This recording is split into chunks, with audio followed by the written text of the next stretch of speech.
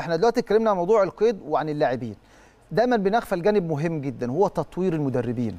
إزاي نكون الاتحاد المصري أو المدربين تحت مظلة الاتحاد المصري لكرة القدم؟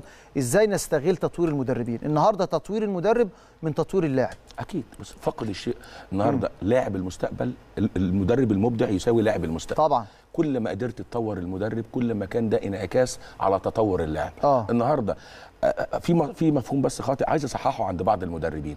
المدربين اللي متخيله إن في جهة معنية بتطويرهم يبقى ده مفهوم خاطئ. مفيش حد معني إنه يطورك أنت اللي معني تطور نفسك ده رقم واحد.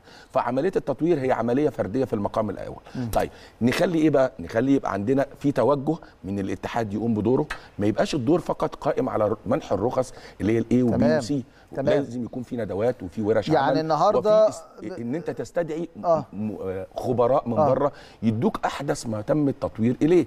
وده ما ينفعش يكون بشكل إجباري في رخصة وتحط معوقات كبيرة جدا إن يبقى مثلا في آه، فترات من الزمن. أنت النهارده أي حد عايز يتطور المفروض يكون في نظام دائم لهذا تطوير. التطور. وعشان كده هنا من الأشبال يعني بنخاطب الدكتور محمود سعد واتحاد الكورة إن دايما يبقى في ورش عمل كل شهرين أو كل ثلاثة للمدربين. النهارده اجتمع بالمدربين برؤساء قطاعات الناشئين علشان نقدر نطور المنظومة دي. زي ما بنقول تطوير الناشئ من تطوير المدرب. والمدرب هو الأساس. وزي ما الكابتن الدكتور عطية بيقول فاقد الشيء لا يعطيه. الحقيقة بس هم بيعملوا. يعني عايزين أقول لك بس الم- الموضوع محتاج يبقى وفقا أكتر. للنظام آه. وفقا إحنا عندنا عندنا أكتر من من 50 ألف مدرب. مم. فأنت النهارده النظام ده لازم يحتوي كل الفئات ديت.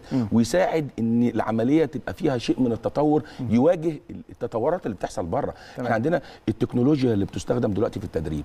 ال- النظام مثلا ال Catapult system وال Polar system الأنظمة الجديدة في ال- في الإعداد البدني آه. الأنظمة الجديدة في التغذية الأنظمة الجديدة في التدريب كل ده لازم المدرب يبقى مطلع عليه ما آه. ينفعش يبقى كل ال- الوحدات ال- أو أو الدورات المناهج اللي فيها متشابهة إحنا محتاجين نستدعي خبراء من بره ونعمل ورش عمل على أعلى مستوى للمدربين كرة القدم لن ينصلح حالها إلا بتطور المدرب رقم مظبوط. واحد تطوير المسابقات رقم اثنين تط... الاهتمام بقطاعات الناشئين الأندية اللي باصة فوق على القطاعات الفرق الأول لو ما بصيتش على القطاع. هتلغي المستقبل هو ده المخزن بتاعك الدعم الأساسي الكرة للناشئين آه. الكرة للقادم من ال...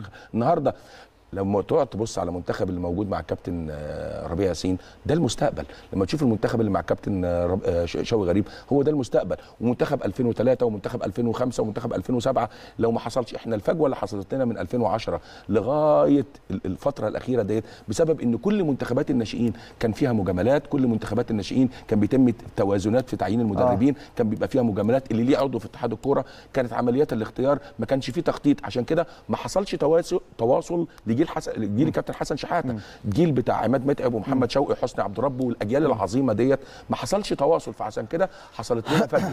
ده بسبب إيه؟ بسبب عدم الاهتمام بالناشئين.